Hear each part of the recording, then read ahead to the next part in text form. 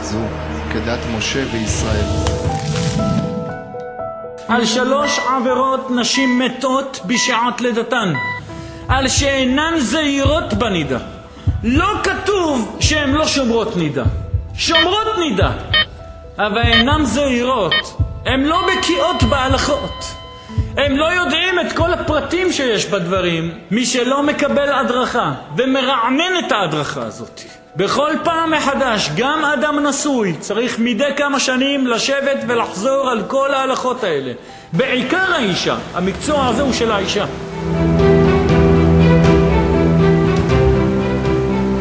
ילד שנולד בטהרה הוא חם למצוות הבורא. זה לא יעזור, זה אמת. שאישה, אחרי שיצאה מהמקווה, אומר רבי מאיר בעל הנס, היא כמו כלה שיוצאת מהחופה. מה זה מקווה? זה מים מהברז? לא, זה לא מים מהברז. זה מים שמגיעים בצורה טבעית, ורק במים כאלה יש טהרה לנפש. זה מים של טהרה כשנאספים באופן טבעי. זה מצוי כמו במעיין, מעיין נובע. זה הטהרה החזקה ביותר. זה הטהרה לנפש. אותה גברת הולכת וטובלת באותו מקווה, מברכת בשם ומלכות, הרי את כשרה. איזה דבר, זה לא יאומן. הכוח שלנו זה באמונה שלנו. אישה ששואלת למה צריך מקווה כשיש שם מתיה, אז יש לה בעיה. יש לה בעיה באמונה, בהבנה. הרי התורה הקדושה אומרת, אך מעיין ומקווה מים יהיה טהור. מה שמתאר אישה זה מעיין ומקווה מים. אישה קלח באמבטיה יום שלם, כל הסבונים וכל השמפואים, שום דבר. היא לא נפטרת כמו טובלת בן. אישה טבלה במקווה, לקחה בדק בתוך מים סרורים, מי ביוב, מסריחה, אבל היא טהורה. טבלה במקווה. מקווה זה לא עניין של היגיינה. עניין רוחני, עניין של טהרה. מוסיף רבנו החפץ חיים וכותב, גם הבעל הנידה מנודה הוא בבית דין של מעלה. אתה יודע מה זה מנודה? מרוחק. לא תפילה ולא תורה ולא צדקה. הוא מרוחק אותו גבר שניגש אליה. עוד צריך לדעת שעוון נידה זה בכלל אחד משלוש עבירות שמחויב כל איש ישראל למסור נפשו להריגה ולשרפה שלא לעבור עליה. שתדעי לך שהתורה אומרת שאישה שנוגעת בגבר שאינו שלה, או נוגעת במי שאסור לה לגעת, ואפילו בבעלה בזמן נידה, היא עוברת על דין שהעונש שלו כרת, וזה אותו דין כמי שאוכל בכיפור, ומי שאוכל חמץ בפסח. אין שוני, אין הבדל בין מה שעשית לבין לאכול בכיפור או חמץ בפסח. תשמרי על טהרת המשפחה שזה קודש העם היהודי.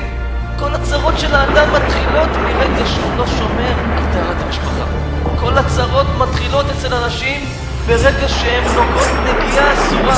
כל בעיות הנפש, כל בעיות הגוף, כל הצרות מתחילות מזה. אנשים לא מבינים למה הם מגיעים למצב של חולי בגיל מבוגר. שלושה אנשים דוחים את השכינה מהעולם. הקדוש ברוך הוא לא נמצא לידם. רחוק! הראשון זה הבועל בת אל נכר, מי שנמצא עם גויה. השני, ההורג עובר בימי אמו, מי שעושה הפלה. והשלישי, החי בר מינן עם אישה נידה. כל פעם שאישה טובלת, נברא מלאך בשמיים למצוות הטבילה שלה. עד כדי כך. וזה רק עם ישראל צווה במצווה הזו, היקרה של טהרת המשפחה. למעלה מ-35 בתי חולים בעולם, 93 אחוז מחולות סרטן הרחם הן נשים שלא שומרות טהרת המשפחה. ורוב הבעיות בשלום בית שיש היום בעם ישראל, ובכלל בעולם כולו, בקרב יהודים, נובעות מהשורש, והשורש זה הטהרה. יש נשים אומרות, מקווה, מים מלוכלכים, זה נקי, מגעיל, קודם כל, בריכת שחייה, כל הנשים נכנסות, כל הדברים נכנסים, עם כל התינוק, זה בסדר, אין שום בעיה, אבל מקווה, הדלקת הנר, רוב הנשים בעם ישראל מדליקות. אז מה נשאר לך? נידה. אין לך עוון בכל העוונות שבתורה שנאמר בו כרת, כמו בטהרת המשפחה. אלישע בן דת טומאתה לא תקרב, ונכרתה הנפש ההיא מקרב עמה. מה זה כרת? או נכרת מהעולם בלי זרע, או נכרת בחצי עמם. אישה חייבת ללכת למקווה טהרה, אם לא הולכת למקווה טהרה, נשארת ימיה כל ימיה. זה לא משנה מתי, באיזה מצב היא נמצאת גופנית, זה לא משנה. כי ברגע שהיא לא טבלה, אפילו שעברו אותם ימים שהיא טמאה בהם, היא עדיין נשארה טמאה אם לא טבלה במקווה טהרה, כמו שאומרת התורה, אך מעיין ובור, מקווה מים, יהיה טהור, רק אז יהיה טהור לטבול שם. טומאה זה לא דבר שהוא גשמי, זה לא לכלוך. טומאה זה דבר רוחני, הטהרה שלו זה רק על ידי מקווה טהרה. לכן כל אדם יחזק הדבר הזה בביתו. כל אישה תדע שחייה, חיי בעלה, חיי ילדיה, פרנסה, שפע, הכל תלוי בדברים הללו. ברגע שיש קדושה וטהרה בבית, יש ענן קשור על האוהל, כמו שהיה צריך ממנו. בתימן, במרוקו, באפגניסטן, בפרס, היו יורדות למערות, קור אימים, שברו קרח כדי לשמור את הרב המשפחה. אדם שאוכל ביום הכיפורים דינו כרת. אדם שמתקרב לאישה נידה, דינו כרת. האיסור שווה. אם יש כאלה שנזהרים ביום הכיפורים לא לאכול, צריכים לדעת שהקריבה לאישה הזאת שלא הייתה במקווה, זה שווה ממש למאכל ביום הכיפורים. לחיות בלי מקווה, זוג יהודי לא קיים בהיסטוריה היהודית. רוב הבעיות שיש היום, רבותיי, שבגללם בתים מתפרקים, יש בעיות קשות וחמורות בשלום בית, זה בגלל שבני זוג לא הרגילו את עצמם לאיפוק.